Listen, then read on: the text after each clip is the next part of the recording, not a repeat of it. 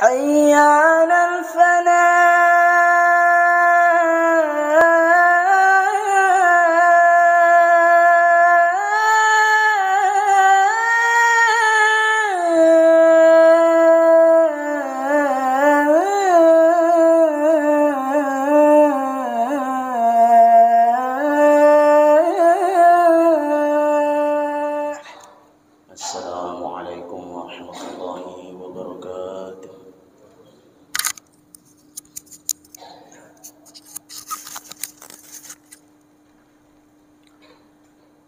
الحمد لله الحمد لله رب العالمين وبه نستعين على أمور الدنيا والدين.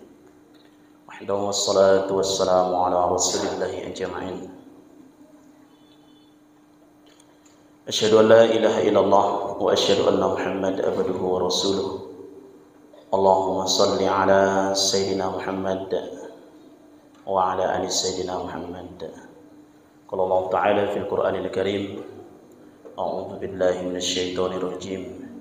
بسم الله الرحمن الرحيم. يا أيها الذين آمنوا اتقوا الله حق تقاته ولا تموتن إلا وأنتم مسلمون. Bapak Ibu para jamaah salat zuhur yang semoga dirahmati oleh Allah Subhanahu wa taala. Ketika uh, muslimin melaksanakan salat dahulu. Jadi syariat tentang azan itu belum ada. Syariat tentang azan itu belum ada. Jadi bagaimana kalau sudah mau sholat Ini kaum muslimin itu hanya berkumpul di tempat-tempat tertentu. Nanti kalau diperkirakan sudah masuk waktu, maka kemudian di situlah mereka baru masuk waktu sholat dan kemudian mereka melaksanakan sholat. Maka sedang berkumpul-kumpul, sebagian sahabat mengusulkan, bagaimana ya kalau seandainya kita buat lonceng sebagai tanda masuknya waktu. Dan itu adalah tandanya orang Nasrani. Kemudian bagaimana kalau dengan trompet? Nah, kemudian Yahudi. Jadi yang mengusulkan dengan suara memanggil para jamaah ini untuk melaksanakan azan itulah Umar bin Khattab. Dan ternyata memang itu diiakan sama Rasulullah. Jadi usulan Umar bin Khattab itu memang dahulu itu sering didengar oleh Rasulullah, kadang Abu Bakar. Karena memang Umar bin Khattab ini orangnya cerdas, cerdas sahabat ini. Nah, di situlah pertama kemudian uh, pengumandangan azan memanggil para jamaah muslimin untuk melaksanakan uh, sholat sebagai tanda. Nah, ada beberapa yang kita jelaskan tentang azan ini Bapak Ibu. Hadis Rasulullah sallallahu alaihi wasallam La yasma'u mada sautil muadzin jinnu wala ins wala syai'in illa syahida lahu yaumal qiyamah. Nah, ini penting Bapak Ibu ya. Hadis riwayat Imam Al-Bukhari. Tidaklah suara azan yang keras dari yang mengumandangkan azan didengar oleh jin, manusia, segala sesuatu yang mendengarnya, melainkan itu semua akan menjadi saksi pada hari kiamat. Jadi luar biasa azan itu. Jadi azan itu memang bukan dengan suara yang kecil, suara yang keras. Lihatlah hadisnya, suara yang keras. Maka khusus azan itu, itu kalau bisa semua orang mendengar, Pak. Terdengar. Dulu suara azan itu ya kita dulu sampai ke sana tuh Pak. Terdengar suara azan al-ikhlas. Sana ujung sana. Sekarang katanya nggak terdengar lagi. Nah itu karena pengaruh mic. Maka itu perlu diperbaiki. Kuat azan itu. Beda dengan tarahim. Kalau tarahim nanti baru. Jangan terlalu kuat. Sedang-sedang saja. Ada volume yang mengatur tentang itu. Nah itu yang pertama. Suara azan itu memang harus keras. Kemudian keutamaan azan Ini motivasi bagi kita yang punya suara bagus atau tidak bagus pun ada kesempatan azan kejar manfaat ini. Lau ya'lamun nasu ma fil nida was-saffal awwal thumma lam yajid illa ay yastahimu alaihi lastahamu. Seandainya setiap orang tahu keutamaan azan. Nah, itu ya. Seandainya setiap orang tahu kita ini semua tahu tentang keutamaan azan dan sok pertama. Kemudian mereka ingin memperebutkannya. Kita ini akan rebutan Pak, rebutan azan. Tentu mereka akan memperebutkannya dengan berundi. Nah, bayangkan Pak, kita karena tidak tahu aja. Karena ada pahala yang tidak diperlihatkan oleh Allah itu. Memang kebanyakan pahala tidak dilihatkan oleh Allah. Tapi kalau seandainya balasannya itu di Bapak Ibu diperlihatkan oleh Allah, datang kita semua berbondong-bondong untuk azan. Tidak perlu Pak Cik yang ditunjuk menjadi azan. Semua berbondong-bondong. Jadi luar biasa. Jadi kemudian ketika disampaikan seperti itu semua berbondong-bondong, ah, tentu kita buat peraturan. Apa? Diundi. Oh, ah, diundi dulu. Hari ini saya yang azan, besok Bapak ini, besok Bapak itu. Karena pentingnya azan itu. Nah, itu dia Pak ya. Jadi luar biasa keutamaan azan itu. Nah, ini dia Pak keadaan muazin yang istimewa pada hari kiamat. hari kiamat ada keutamaan bagi dia. Apa itu? Al muazzanuna atwalun nasu a'naqan yaumal kiamah. Seorang muazzin memiliki leher yang panjang di antara manusia pada hari kiamat. Leher yang panjang di situ adalah maksudnya bukan suatu kehinaan tetapi suatu kemuliaan. Ada penjelasan yang lain tentang ini leher yang panjang itu maksudnya itu nanti dia akan melihat satu tempat besok bagi dia. Oh di surga mana dia? Nah, itu orang muazin itu seperti itu.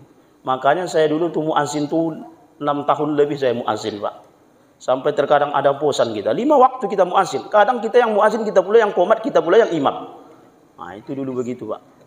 Maka kadang-kadang kalau saya ke sini, saya kadang-kadang saya azan. Kenapa? Kangen dengan masa-masa dahulu. Jadi Masya Allah untuk muazin itu ya Pak ya. Itu luar biasa. Nah ini dia keutamaan berikutnya. Bahwasanya kita baca hadisnya, artinya saja, makna saja. Rob kalian begitu takjub terhadap si pengembala kambing di atas puncak gunung yang mengumandangkan azan untuk solat dan ia menegakkan solat. Allah pun berfirman, perhatikanlah hambaku ini. Ia berazan dengan mengangkat solat karena takut kepadaku. Karenanya aku mengampuni dosa hambaku ini dan aku masukkan ia ke dalam surga. Wah itu luar biasa Pak. Ternyata muazzin itu itu diampuni oleh Allah dan Allah memasukkan dia besok ke dalam surga. Jadi masya Allah ini luar biasa Bapak Ibu ya. Kemudian imam adalah penjamin sedangkan muazzin adalah orang yang diamanahi. Semoga Allah memberikan petunjuk kepada para imam dan mengampuni kepada para muazzin. Nah, ini hadis riwayat uh, Imam Ibn Hubban. Inilah yang kemudian yang menjadi sebahagian kecil ya kepada para ulama hadis mereka menyimpulkan muazzin itu lebih utama daripada imam. Nah, karena hadis ini nih Pak. Jadi luar biasa itu keutamaan azan itu. Maka Bapak Ibu kita atur juga, kita sampaikan juga sedikit pikihnya tentang muazin itu. Nah, kita kalau kemudian kita sudah mendengarkan azan, maka apa yang kita jawab? Bapak Ibu, apa yang kita jawab ketika kemudian kita mendengarkan azan? Apa yang diucapkan oleh muazin itu, maka itu yang kita jawab. Maka jangan kita berbicara-bicara ketika sedang ah, azan apa yang diucapkan muazin itu maka kemudian itulah yang kita jawab cuman nanti ketika pada hayyal shalah hayyal falah kita ucapkan apa la haula wala quwata illa billahil aliyil azim Sekarang pertanyaannya, kalau subuh bagaimana? Subuh kan ada kalimat yang berbeda. As-salatu khairum minan naum. Nah, itu kita baca apa? Ada yang tahu, Pak? Sodakota wa barorta. Nah, Bapak Ibu ya itu yang kita jawab ya. Sodakota wa barorta. Maka kemudian, nah itu yang kita jawab. Sodakota wa barorta. Sesudah selesai nanti, baru kemudian kita membaca doa. Allahumma rabb hadhihi da'wati sampai kemudian selesai. Nanti ada solawat eh ada yang dijamin oleh Rasulullah kelak aku akan memberikan syafaat kepadamu. Sekarang pertanyaannya, ketika komat pula, ketika komat, Allahu Akbar, komat itu azan kedua, itu azan juga namanya, komat itu. Nah, apa yang diucapkan oleh seorang yang komat itu, maka kemudian itu pula lah yang diucapkan oleh jamaah, oleh kita yang mendengar. Maka kemudian masalahnya nanti ketika ya sholah kita ucapkan la haula wala quwata illa billahil aliyil azim. Tapi ketika qada qomatis sholah kita mengucapkan apa? Ketika qada qomatis sholah, qada qomatis sholah, qada qomatis sholah, maka kita ucapkan aqamahallahu wa damaha. Nah, itu dia doanya. Kalau disambung madamas samawati wal ard agak panjang. Tapi ini ternyata penjelasan ini diterangkan dalam kitab Al-Adhkar Imam Nawawi mengutip hadis Imam Abu Daud. Dan ini juga diterangkan dalam uh, kitab fikih Mustafa Al-Kin dan Mustafa Al-Mugo. Yakni dalam kitab Fiqhul Manhaji. Nah, ini diterangkan. Jadi Bapak Ibu, ah, itu yang kita jawab. Nah, sesudah selesai komat nanti kita baca apa? Nah, ini kadang-kadang kita tidak tahu nih. Allah, Allah, la ilaha illallah. La ilallah kita baca la ilallah aja. Bacaannya sama dengan bacaan komat. Doanya, doa komat itu apa? Doa azan itu apa? Allahumma rabb da'wati tammah wa salatil qa'imah. Sama. Doa komat juga itu. Allahumma rabb da'wati tammah wa salatil qa'imah. Silahkan baca fikih banyak sekali penjelasan tentang itu dalam kitab Al-Askar, dalam kitab fikih Syafi'i dan lain sebagainya. Itu doa yang kita ucapkan. Jadi Bapak Ibu, ketika seseorang menghinakan azan, apa sikap kita sebagai seorang muslim? Sikap kita sebagai seorang muslim memberikan nasihat yang baik kepada siapa? Kepada mereka yang telah mengucapkan itu. Bukan diam. Diam itu bukan sifat seorang muslim. Diam itu sifat orang munafik ketika agamanya dihina. Jadi nanti kalau dikatakan, oh diam saja, nggak merubah apa-apa. Itu sikap seorang muslim. Makanya kalau saya Pak, saya tengok penpex Pak Jokowi. Nah, itu saya kasih kritik ke Pak Jokowi itu. Itu dilegalkan dalam undang-undang. Pak Jokowi, tolong diproses. Ini penpex Jokowi. Ini kalau kita semua yang ngomong seperti itu. Pak Jokowi, ini tolong diproses. Sudah berapa kali dia membuat gaduh. Cari penpex Pak Jokowi itu ada tuh banyak tuh. Nah, kasih saran kepada dia. Kritik. Marah ketika agama dihina. Maka kemudian ada satu kitab judul judulnya adalah Giroh kitab yang dicat yang ditulis oleh Profesor Dr. Buya Hamka. Profesor Dr. Buya Hamka ini ini doktornya dua kali Pak. Pemberian semuanya. Pemberian dari Al Azhar doktornya itu. Dia menulis satu kitab yang berjudul Giroh lebih kurang 150 halaman. Kalau kita baca kitab tersebut Bapak Ibu nanti kita akan bisa menyimpulkan bahwa memang kita harus marah. Ada saatnya kita marah, ada saatnya tidak boleh kita marah. Buku itu menyimpulkan kepada kita apa? Giroh yang sebenar-benarnya, marah yang sebenarnya. Kapan kita marah, kapan tidak marah. Nah, jadi sikap muslim itu jelas pak. Sikap muslim itu jelas. Enggak seperti orang munafik. Dia lihat pengaruh ke mana ini yang lebih banyak pengaruhnya. Saya ikut inilah gitu. Enggak begitu. Muslim itu tidak begitu. Prinsip satu satu kebaikan. Maka Bapak Ibu, tentu itu tidak dibenarkan pula dengan cara mengkritik yang kasar. Nah, itu tidak benar juga. Contoh misalnya, ini kan musim di mana azan kemudian dihinakan, semua orang marah. Itu bagus itu. Tapi marahnya harus terkontrol. Jangan kemudian dibuat pula meme. Apa itu? Gambar yakut. Lalu kemudian dibuat gambar kepalanya kepala anjing. Nah, ini juga tidak benar.